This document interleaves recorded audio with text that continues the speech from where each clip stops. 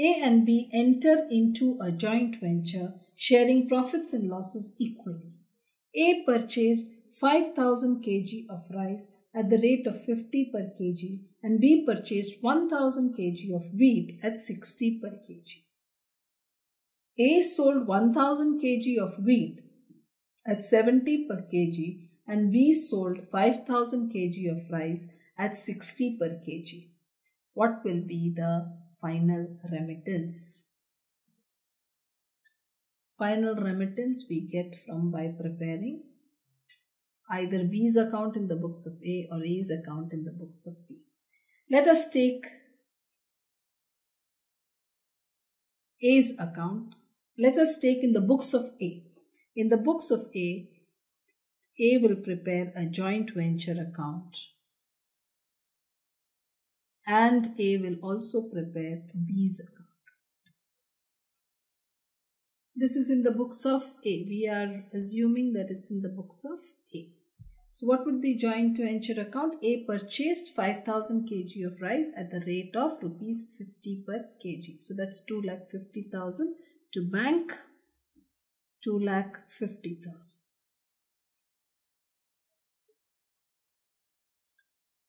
B purchased 1000 kg of wheat at 60 per kg. This is B's account.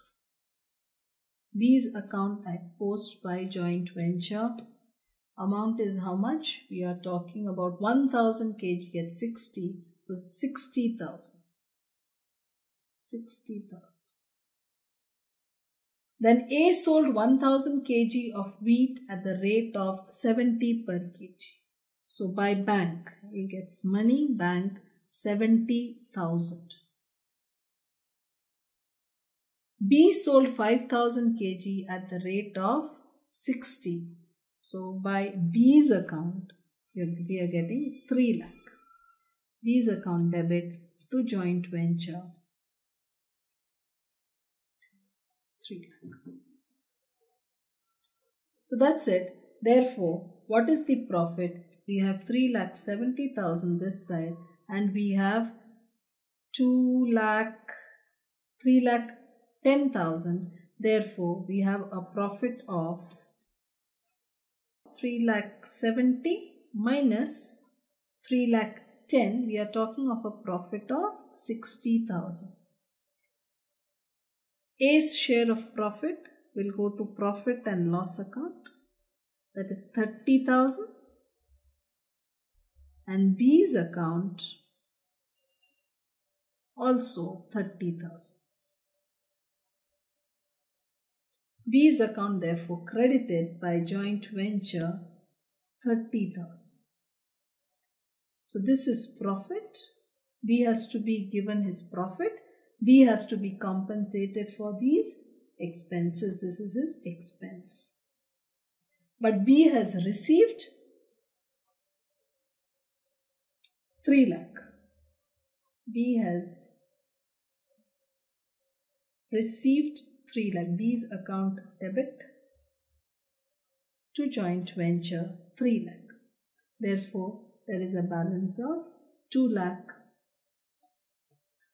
10,000.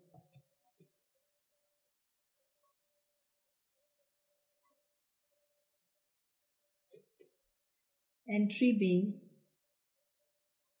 bank account debit to B's account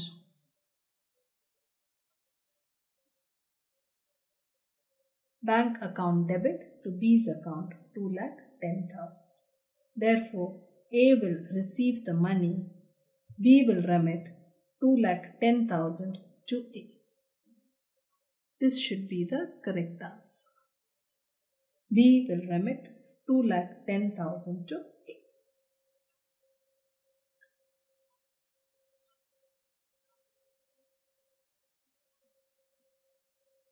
This is in the books of A.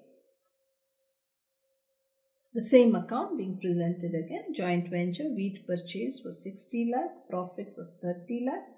On the other hand, on sale of rice, B received 3 lakh. Therefore, 2 lakh 10,000 will have to be paid by B to A. So, the answer, correct answer that remittance by B to A would be 2 lakh 10,000. 2 lakh 10,000. Even without preparing the accounts, this could have been computed. Since we have multiple choice questions, this can also be done in a very simple manner. If we look at the question, we know that 5000 kg of rice was purchased at 50 rupees per kg.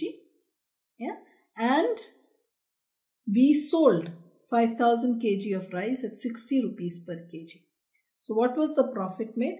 10 rupees per kg on rice. The profit made on rice is 10 rupees per kg, 50,000. Similarly, in case of wheat, 1000 kg of wheat at 60 rupees per kg and sold at 70 rupees kg. Again, there is 10 rupees per kg profit into 1000 kg being sold. Therefore, therefore, profit of 10,000 on wheat.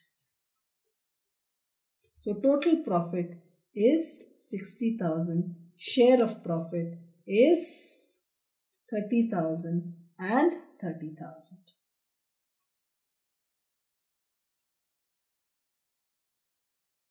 Having said that, we also know that B incurred 60,000 cost for purchase of wheat. Share of profit we just computed is 30,000. B has to be compensated 90,000. On the other hand, B received or B has to pay back 3 lakh since B received 3 lakh on sale of rice. Therefore, this difference of 2 lakh 10,000 we know has to be remitted by B to A.